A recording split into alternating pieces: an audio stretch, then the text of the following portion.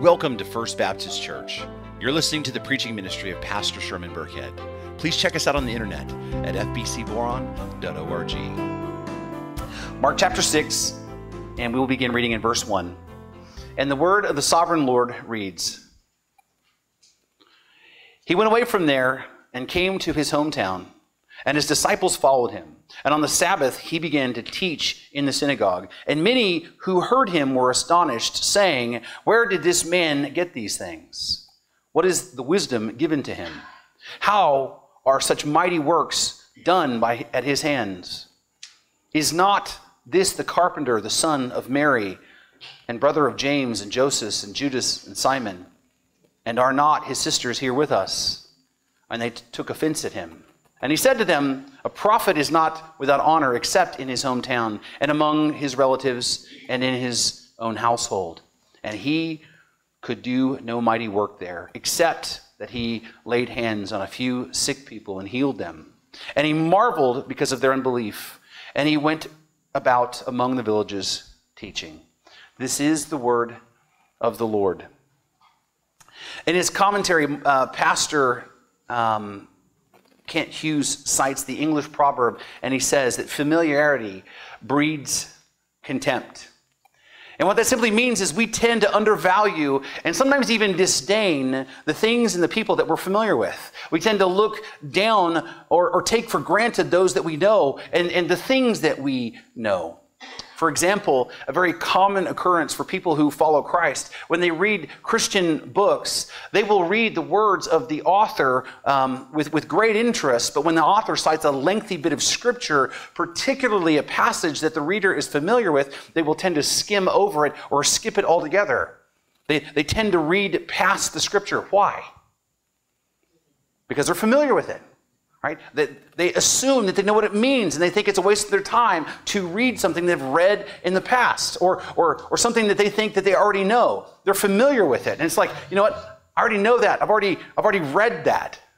Another example is, is how uh, that, that would be is how husbands and wives tend to place a higher value on the opinions of people that are other than their spouses. And if you're married, you know what I'm talking about.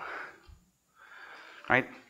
You're in a conversation with someone that you know, and, and, they say something to you like, you know what, hey, maybe you should take some time off and spend some extra time with your family. And you go, that's a great idea. And you go home to your spouse and you tell them, hey, you know what, I was talking to so and so, and they said, you know, I should take some time off and spend it with my, with, with my family. I think that's, that's a wonderful idea. And you wonder why they're giving you a dirty look.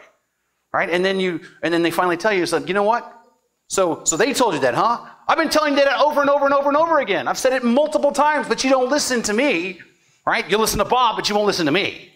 Right? If you're married, you know what I'm talking about here. As Voddie Baucham says, if you can't say amen, you ought to say ouch. Right? Another example is, is the community that we grow up in. Um, everybody wants to leave their own hometown. It seems that everyone looks down on where they're, they're from. Why? Because it's familiar. When we moved back here to Boron, Kim was not that excited about coming, coming back here because she grew up here. And she knew everybody, and she remembered how people treated each other in a small town, and it's not always good. But, but I quickly fell in love, and so did my oldest son. We quickly fell in love with the community, and Kim said, You know, I grew up here, but it was you and, and our son, little Sherman, who uh, had given me a better appreciation for, for my own hometown. He said, The problem is with familiarity, is that you're just familiar. Right? And, and because you're familiar, you begin to take you know, things for granted and make assumptions, and you begin to live by those assumptions. When you, uh, you come to know someone at a certain level and in a certain way, and you just expect them to be that way for the rest of their lives and for all the time that you will ever know them. And the idea of change for them or them doing something different is impossible. I've, I've often said that one of the great things about family is that they know who you are. But one of the worst parts about family is that they think that they know who you are. And it's the same with friendships. And it can be the same with your, with your work. It can be the same with the work relationships. And it can even be the same with, with faith. One of the difficulties that we have in sharing our faith in America is people are familiar with Christianity. They've heard about it. A lot of people are somewhat familiar with the Bible, and, and, and most people are somewhat familiar with, with the gospel. And so they tend to dismiss it they because they're familiar. And this is even worse for those who make a profession of faith at some point in their life, but they're not really believers. And you come to them and you share the gospel with them, and they're like, I know that. I know all about that. You do? Yeah. Ah, I heard the I heard that one time at church and I came forward and you know when I was invited and, and I invited Jesus into my heart and I was saved, even though that their lives bear no fruit at all of their salvation. They, they've been inoculated, so to speak, against the gospel because they're familiar with it. And even as Christians, we can be, be familiar to the point that um, you know that we fall in the same mindset we come to faith in Christ and we begin to learn some things and we are hungry and excited and we begin to follow Jesus and then we begin to develop this picture of who we think God is and we become very comfortable in that. And so we become really familiar with the image of God that we've created that we no longer apply ourselves to really wanting to grow and know him better. We don't feel challenged and we don't feel like we need to dig into the word and really really get at who he really is. We don't feel the need to ever challenge our own assumptions, even, even though that God is infinite and bigger than our imaginations. We get very comfortable with our understanding and we stop maturing because familiarity is, is comfortable. And, and as we've all experienced, all of us have experienced this kind of familiarity, either by giving or receiving. I already know that. I know who she is. Yeah, I know all about him. Oh, they would never, they would never do that. Yep, that's the kind of person he is for sure. We all know what it's like to be so familiar with, with, uh, with people having been so familiar with us that they just dismiss us. And we know what it's like to do the same to other people. And, and, and that right there is the issue that Jesus is facing here in this text. Jesus is going to go home and preach the gospel to a group of people who think that they know who he is. So turn with me to Mark chapter 6, beginning in verse 1. And it says, And he went away from there, which there is Capernaum, because that's where the story left off, and came to his hometown. Now, it doesn't say the word Nazareth here, but that's, but that's where Jesus' hometown was. After um, he fled uh, to Egypt with his parents, they came back and settled in Nazareth. And his disciples followed him. And the reason why his disciples followed him is because this was not a family visit. This is an official visit. This is he is there to preach the gospel and he has brought with him his entourage. This is an official ministry visit to the city of Nazareth. And what you may not realize is that this is not the first time that Jesus was home preaching the gospel in his hometown. Because when we open up the Gospel of Mark, he jumps right in and declares that Jesus is the Son of God. And then he gets right into the passage where he's baptized and goes out into the wilderness and is tempted uh, for 40 days by Satan. And then after that, it says John the Baptist was beheaded, and Jesus came to the region of Galilee and began his ministry preaching the gospel, proclaiming that the time is now, the kingdom is here, and the way into the kingdom is to repent and believe the gospel. And after that, Jesus calls his first disciples and he preaches in the synagogue in the city of Capernaum for the very first time. But Mark does not give us the detail about what happened between Jesus beginning his ministry and the calling of his first disciples. But Luke does. Luke, in his gospel, um, tells us that. In fact, turn with me to Luke chapter 4. It's just a few pages to the right. Luke chapter 4. You can hold yourself in, in the other place if you'd like. Luke chapter 4. Um, Luke is just uh, like I said, just a little bit to the right. Chapter 4, beginning in verse 16, and it reads And he came to Nazareth, where he had been brought up, because it's where he grew up as a little boy. And as it was his custom, he went to the synagogue on the Sabbath, and he stood up and read. Probably because it was his turn, because all the men in the synagogue took turns reading the text.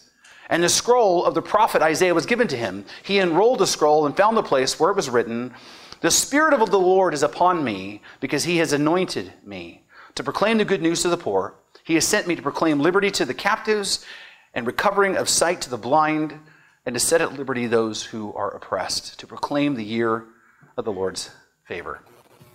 And he rolled up the scroll, he gave it back to the attendant, and sat down. And the eyes of all in the synagogue were fixed on him. And he began saying, Today, this scripture has been fulfilled in your hearing. Or, in other words, you have been waiting for the Messiah to come and to set things right. Well, here I am. I am the Messiah. I'm the one prophesied about in this scripture. I am the Son of God. And, and those, and it, it, that was what he, he basically said to those in his hometown.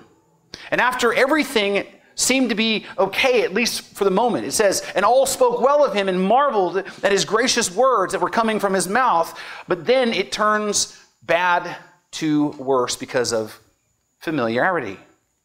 And then they said, Is this not Joseph's son? Or, in other words, wait a minute. We know this guy. We know who he is. What do you mean you're the Messiah? What do you mean you're the Son of God? Right? How can that be? We know who you are, kid. We, we saw you grow up. And then he said to them, Doubtless you will quote to me the proverb, Physician, heal yourself. And what you have heard you did at Capernaum, do here in your hometown as well. And what Jesus was saying is, I, don't, I know you don't believe me because you think you know me. And so you're going to ask me to do miracles right here, right? That, that, that, you've heard about me doing in Capernaum. That you want me to prove to you that I am who that I say that I am and what I'm saying is true. And he said, Truly I say to you, no prophet is acceptable in his hometown. Or in other words, you're not going to believe me anyway. You're not going to believe me anyway because you think that you know me. And so, no, I am I'm not going to do miracles before you because you, like your forefathers who refused to listen to the prophets of old, right? And, and God didn't allow them to do miracles uh, for those poor uh, those people either, but rather He sent him to do miracles elsewhere to people who weren't even Jews. And you're just like those unbelieving hypocrites. Is really roughly what He's saying. And this really upsets his home crowd. And it says, and when they heard these things, all in the synagogue were filled with wrath. They were, they were bitter and angry. And they rose up and drove him out of town and brought him to the brow of the hill on which the town was built, so that they could throw him, look at this, so they could throw him off the cliff.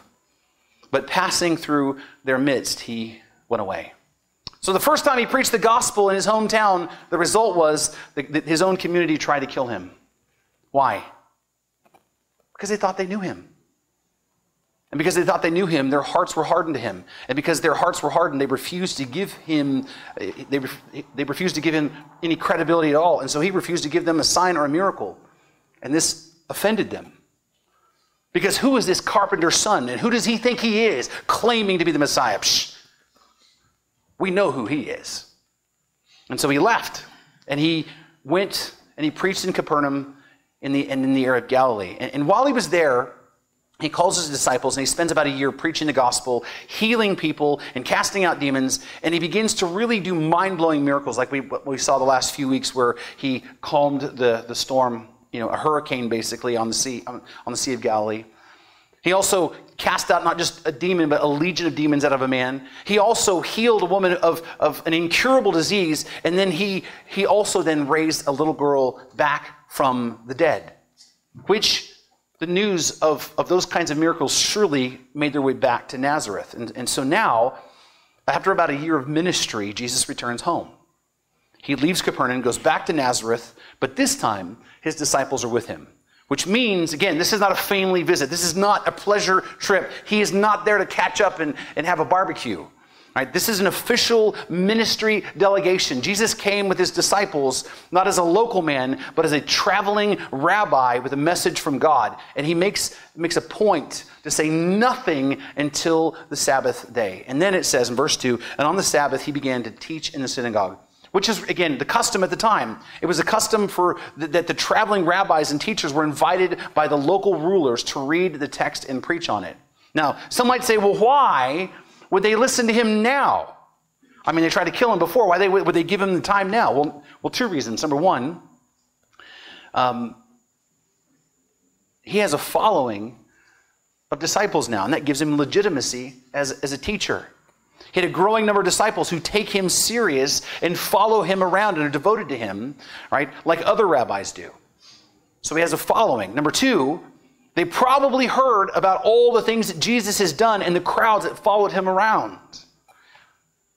this probably made them curious. Remember, Jesus' own family had heard about what was going on in Capernaum, and what did they do? They went to Capernaum to try to take him by force, to take him home, because they thought he was out of his mind. And while they were there, they got to witness the huge crowds that followed him everywhere he went. And they probably even saw Jesus healing people and casting out demons. And so these people, you know, his family probably, you know, probably went back and told the community what was going on. So it's probably common knowledge in Nazareth. If you have to think about it, um, Nazareth was only about 500 people which means word would spread faster there than it does here in Boron, even with social media.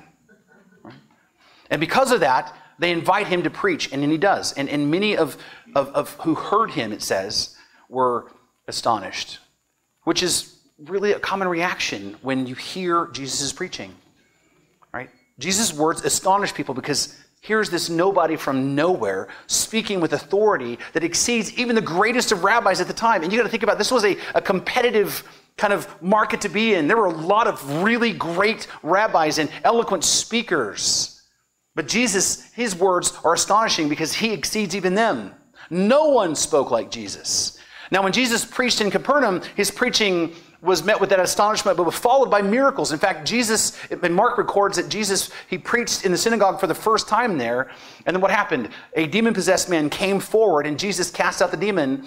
And then he spends the rest of the night healing people of all kinds of diseases. And, and the reason for that is because they were open, at least, to Jesus' message.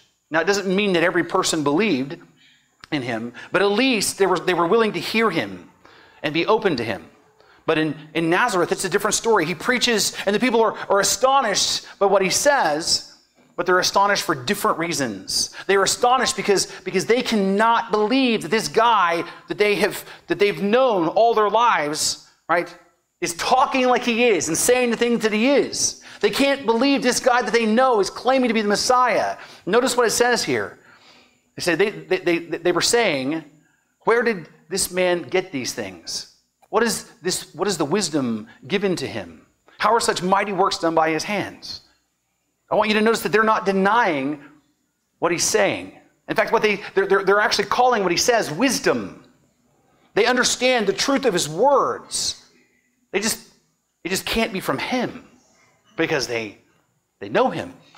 And they're not denying even his miracles. They affirm that he's done mighty works by his own hands. They cannot deny his power or his authority, just like the Pharisees couldn't deny it either. But notice their attitude in spite of the miracles it says, Is this not the carpenter?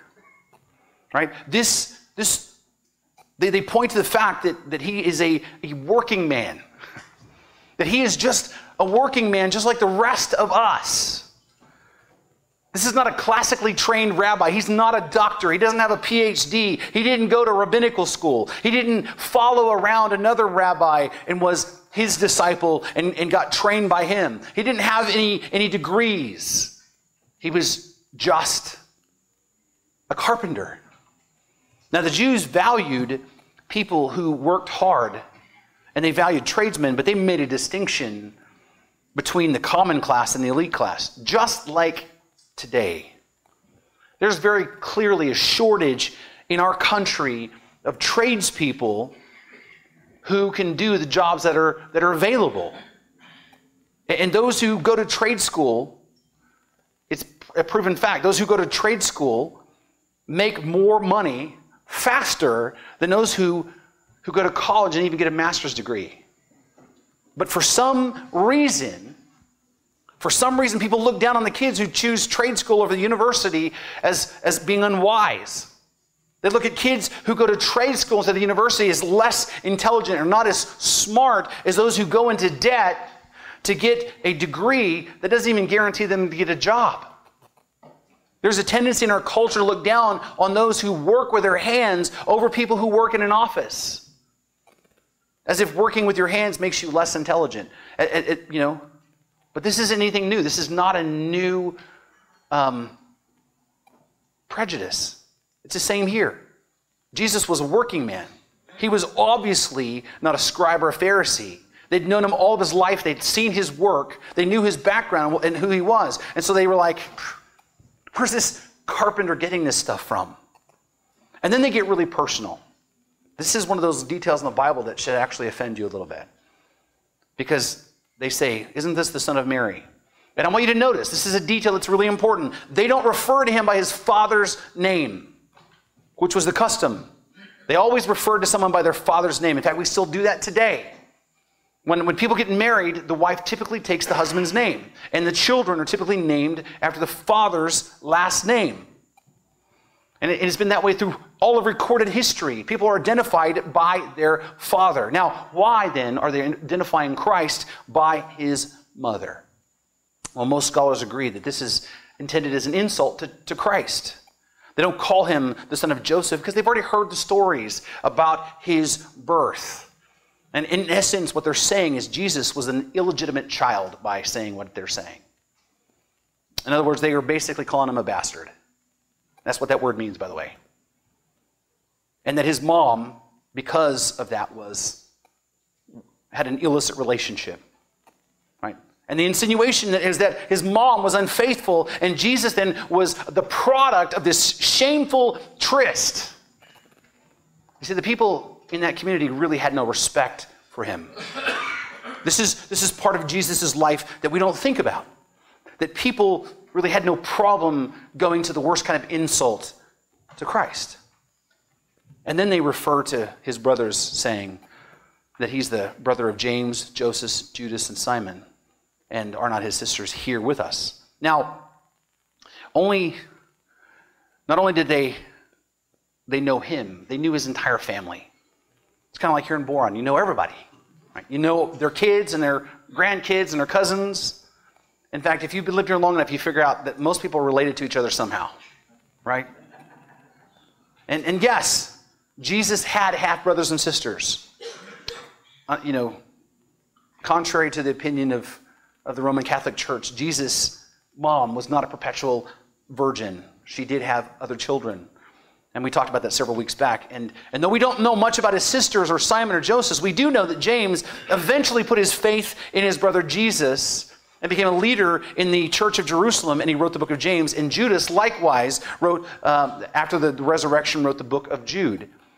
But the point is that they were looking down on Jesus and his entire family.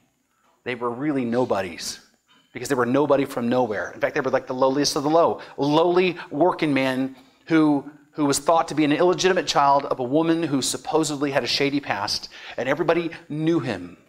Again, remember the town's 500 people. Everybody knows everyone. And everybody's up in everybody's business. You think Boron is bad? Well, this was, this was worse. And so these people literally grew up with Christ since he was very little, and they looked down upon him. In fact, it says they took offense at him. Now, this word offense is, is familiar to us. We've talked about this word before. It's from the Greek word that means to scandalize, right? It means for them to it, it, it, for them, this was a scandal. This was a stumbling block to them. Uh, this man that they knew all their life, doing the things that he was doing, saying the things that he's saying, and claiming to be the unique Son of God is simply a scandal. He was a nobody from nowhere, and they knew him. So, how could this possibly be? I, I mean, can we blame them? I mean, think about this. If, if one of the kids from the youth group, you know, had graduated from high school and came up here before the church and says, I'm going to be the next president of the United States. I'm going to bring about world peace and world hunger. And I'm going to cut taxes for everyone. What's your reaction going to be? Yeah, right, kid. Just keep dreaming. Right? These people were offended by the Christ, by who Christ claimed to be. They were offended because they because they thought they knew him.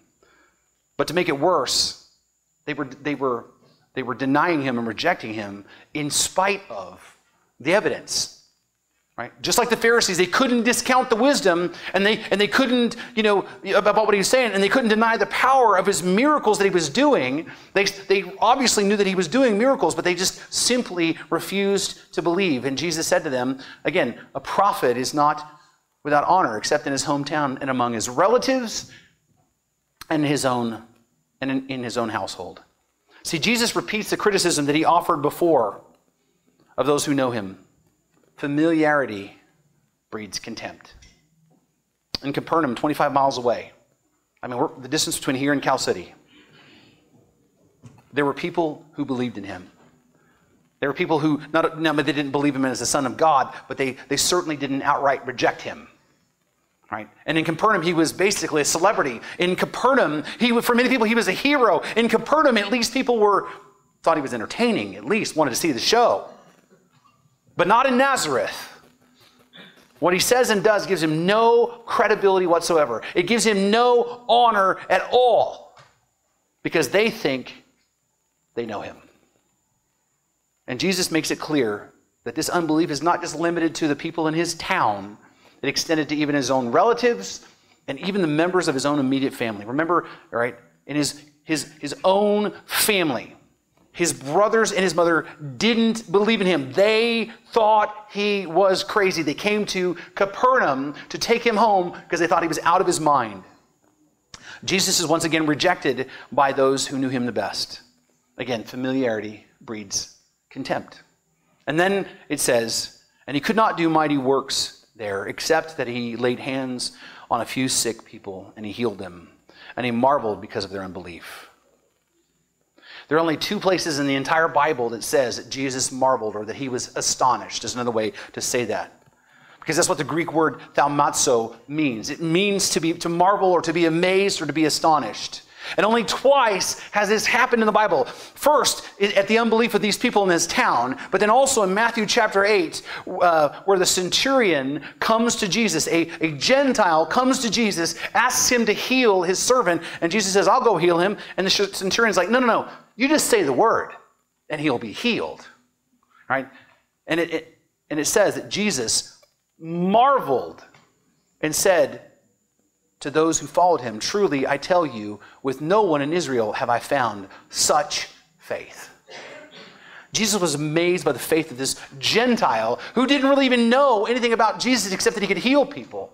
And then he was also then likewise amazed by the unbelief of those who people who did know him. All of his life, in spite of the evidence that he was giving them, they refused to believe. And because of that, blatant unbelief, Jesus didn't do anything, any mighty works except to heal a few sick people, which, which I think bears two important observations. Number one, how jaded do you have to be to not consider healing someone a mighty work, right? I, I mean, what do you want?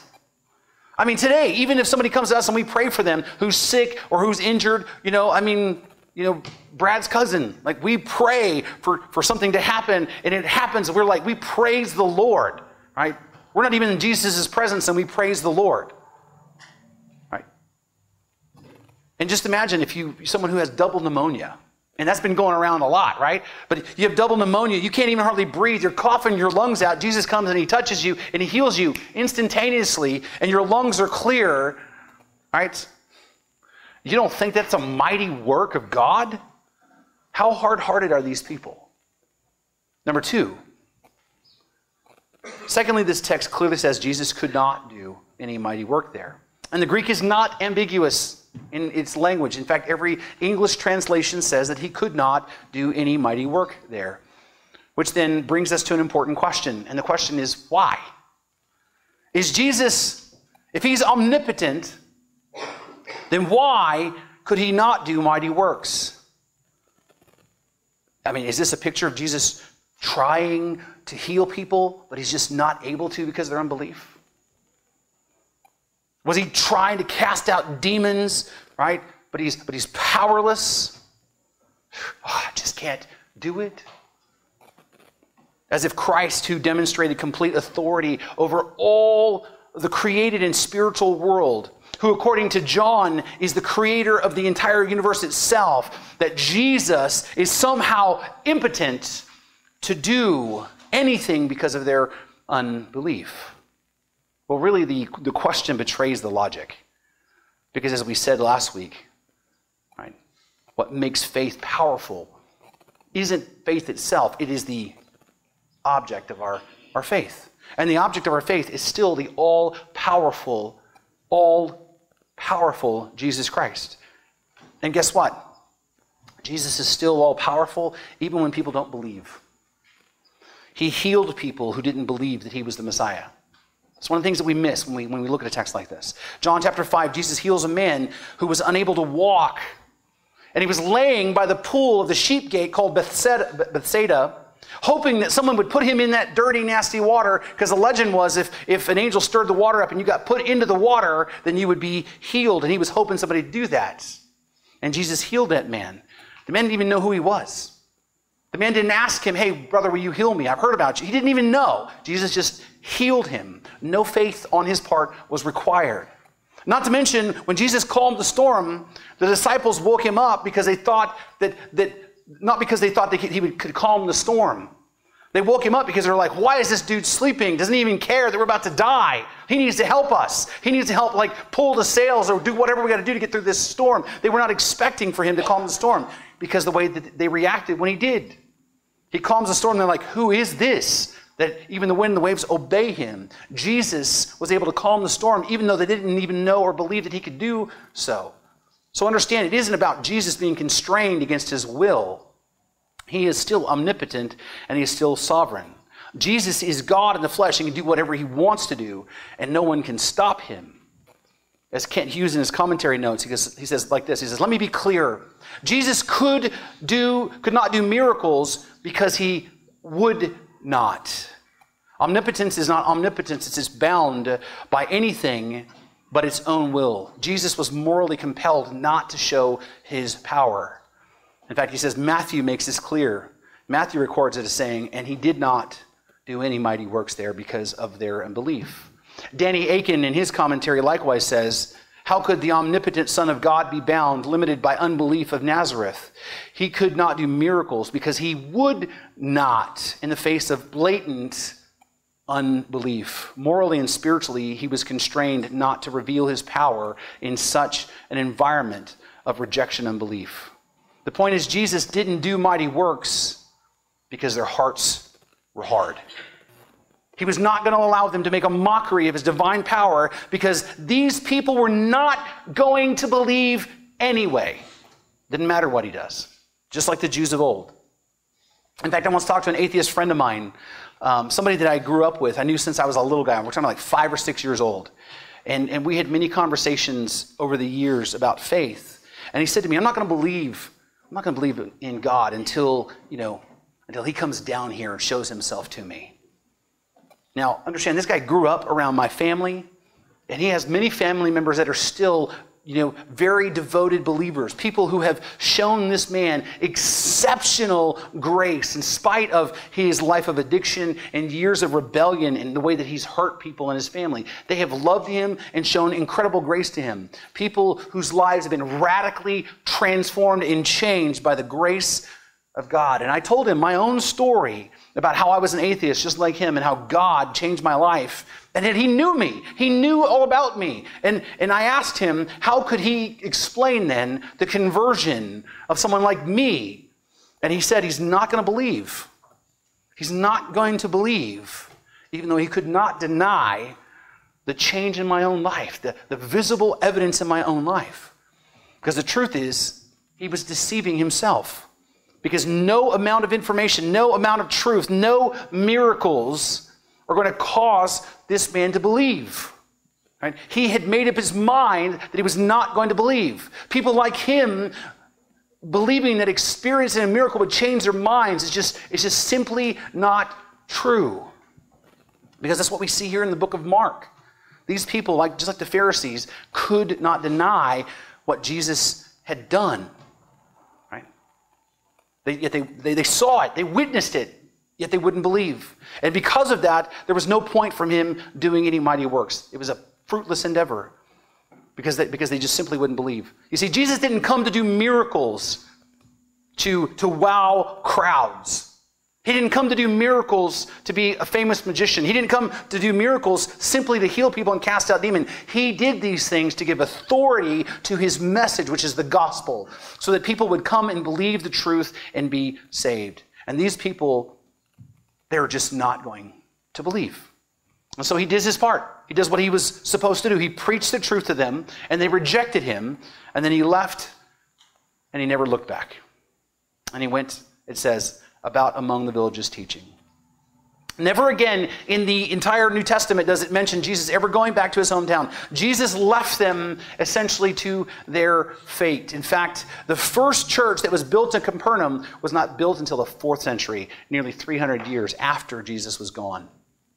Because those in his hometown rejected him because they thought they knew him. Familiarity breeds contempt. Now, with all that, there's still several lessons we can take from this. The first one is, is unbelief is blinding. Unbelief blinds the person to the truth.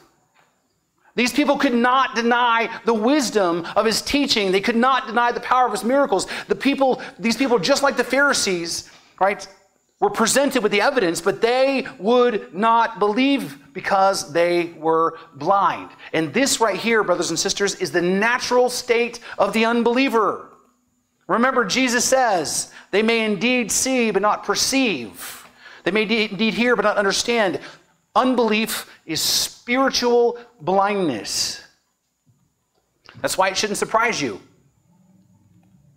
That's why it shouldn't frustrate you when you share your hope with someone and they refuse to acknowledge what you're saying. Seriously, like getting upset about that is like getting upset by the sun coming up. Even though you pre- pre- com- present compelling evidence, people's unbelief makes them blind to the truth. I mean, think about it. We just got through Easter, and what's the thing that we talked about? That the resurrection of Jesus Christ is the best attested to historical fact in all of antiquity. There's nothing attested to even close. The evidence for the resurrection is so overwhelming, historically speaking, that if you can't believe in the resurrection, you really don't even have grounds to believe anything else that's happened in ancient history. But the reason why people won't believe in the resurrection is not due to the lack of evidence. It's because they simply refuse to believe in the supernatural, and they understand that if Jesus walked out of that tomb, that he is who he says he is, and that means that they are accountable to him. And so they will deny the truth in blind unbelief. Christians are always accused of having blind faith, while non Christians are guilty of having blind unbelief, in spite of what the evidence says, because their, their, their unbelief, their hardened unbelief, makes them blind to the truth. Secondly, unbelief is destructive. Unbelief is horribly destructive from the very beginning all the way up to right now. John MacArthur notes in a sermon that he preached on this exact same text. He said, I'm just going to quote um, what he said here because he says it better than I can. He says, For example, Eve exercised unbelief in the Word of God and brought the entire human race down into a curse and eternal judgment. In the days of Noah, the world would not believe, and the world of unbelievers drown in a flood that, that covered the entire earth. Unbelief caused the destruction of the whole human race and all creatures and all life living on earth. It was unbelief, he continues and says, on the part of Israel in the wilderness that caused them to die there before ever entering the promised land. And the story of Israel's ongoing unbelief, even after they entered the land of Canaan, is clear for all to read in the Old Testament.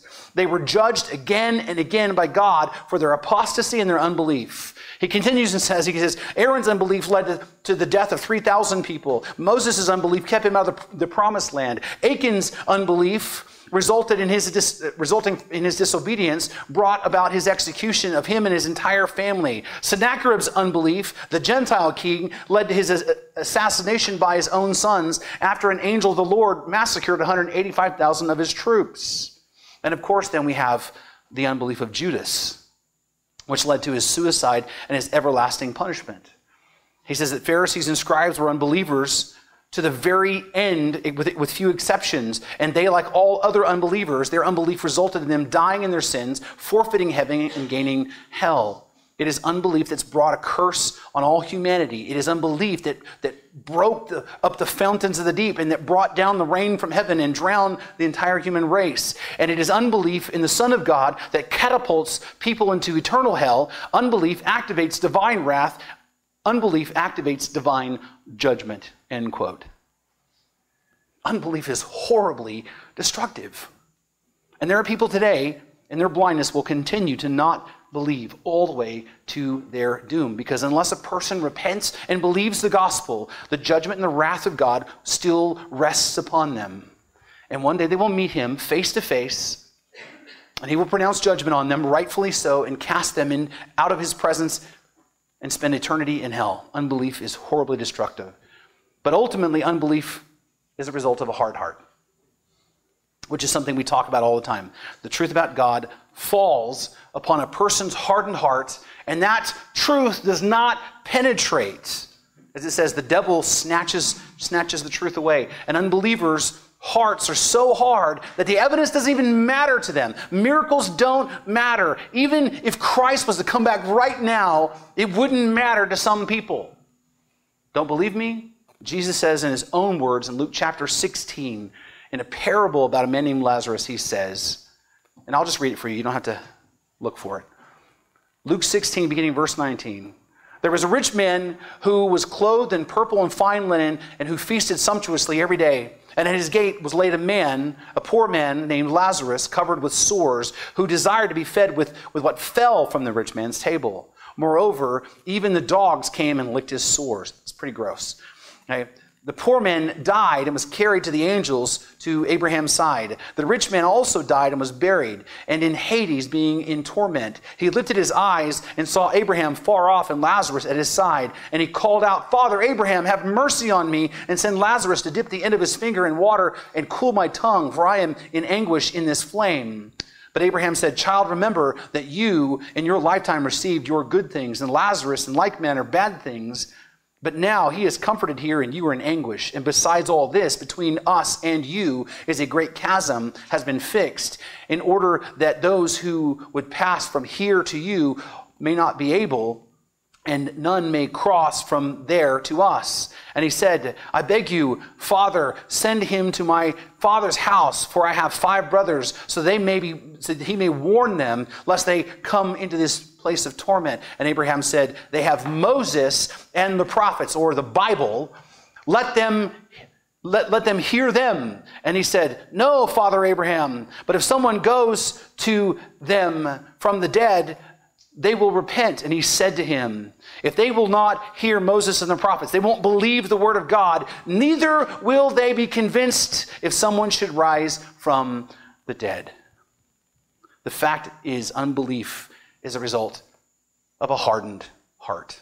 And unless God supernaturally changes a person's heart, they will remain that way, and nothing will cause them to believe. Which leads to our last truth, and that is unbelief and having a hardened heart is natural.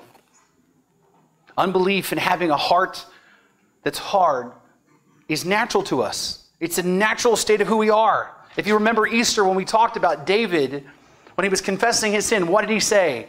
He said, Behold, I was brought forth in iniquity, and in sin did my mother conceive me. A couple Psalms later in Psalm 53, he says, The fool says in his heart, There is no God. They are corrupt, not, they are corrupt, doing abominable iniquity. There is none who does good. God looks down from heaven on the children of man to see if there are any who understand, who seek after God. They have all fallen away. Together they become corrupt. There is none who does good, not even one. Which, by the way, the Apostle Paul repeats that in Romans chapter 3. But then in Ephesians chapter 2, verse 1, Paul says, And you were, look at that word there, dead in your trespasses and sins, in which you once walked, following the course of this world, following the prince of the power of the air, which is the devil himself, the spirit that is now at work in the sons of disobedience, among whom we we all once lived in the passions of our flesh, carrying out the desires of the body and the mind, and by nature children of wrath like the rest of mankind. He also says in Colossians chapter 2 verse 13, you were dead in your trespasses and the uncircumcision of your look at this sinful nature. Unbelief is just natural to us. Even though innately we believe that there's a God because everybody is. The Bible makes it clear there are no true atheists. Paul says in Romans chapter 1, verse 18, For the wrath of God is revealed from heaven against all ungodliness and unrighteousness of men, who by their unrighteousness suppress the truth. We suppress the truth. We actively suppress the truth.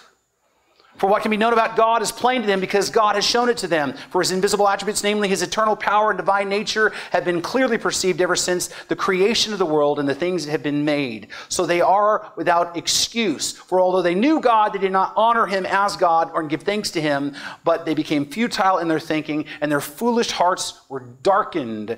Claiming to be wise, they became fools and exchanged the glory of the immortal God for the images resembling mortal man and birds and animals and creeping things. Therefore, God gave them up into the lusts of their hearts to impurity, to the dishonoring of their bodies among themselves, because they exchanged the truth of God for a lie and worshiped the, and served the creature rather than the Creator, who is blessed forever. Amen. The natural state of mankind on his own is unbelief and a hardened heart. And our only hope, our only hope is, is for God to change our hearts. And praise the Lord, he does do that. He changes people's hearts so they can believe. God promises in Ezekiel chapter 36, verse 26, and I will give you a new heart and a new spirit I will put within you, and I'll remove from you the heart of stone from your heart of from, from your flesh and give you a heart of flesh and i will put my spirit within you. And notice what the result of that is. So and cause you to walk in my statutes and to be careful to obey my rules. God is the one who changes hearts. God is the one who changes the hardened heart even even the hardest of ones. What you need to understand is god did change the hearts of some of those who were in nazareth some of those who who were hardened in their unbelief. How do I know that? Because the members of Christ's own household, Jesus' mom and his brothers, uh, James and, and Jude, became believers. Their hearts were changed. How do we know that? Well, we know that for a fact, right? Because, of, because they, they wrote two books of the Bible. In fact, tradition tells us that all his brothers and sisters came to faith. And so God Hear me on this. God can and does change the hardest of hearts. He can change the heart of even the, those whose unbelief seems to be the most powerful and destructive. He can change the heart of even those who were contemptuously familiar to you.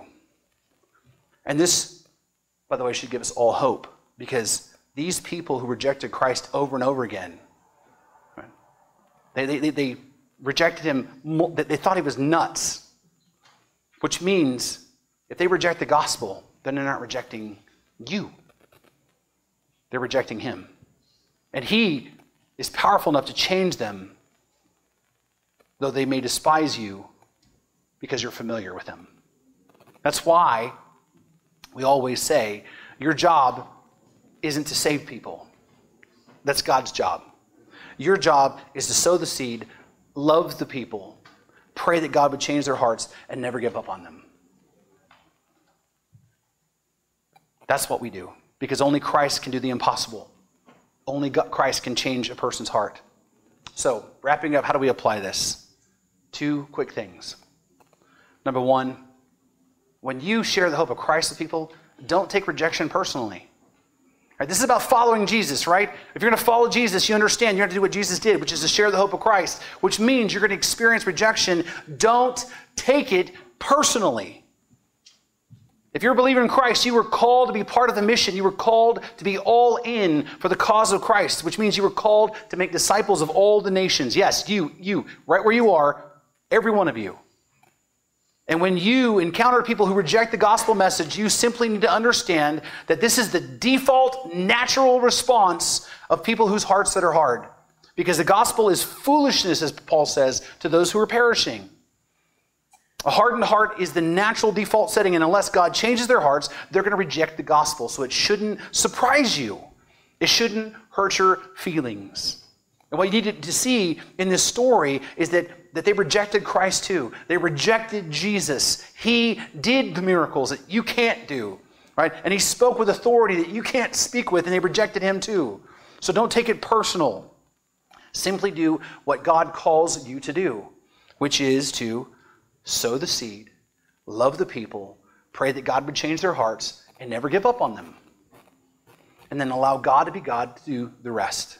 Number two, I think is probably the most important believe and keep believing.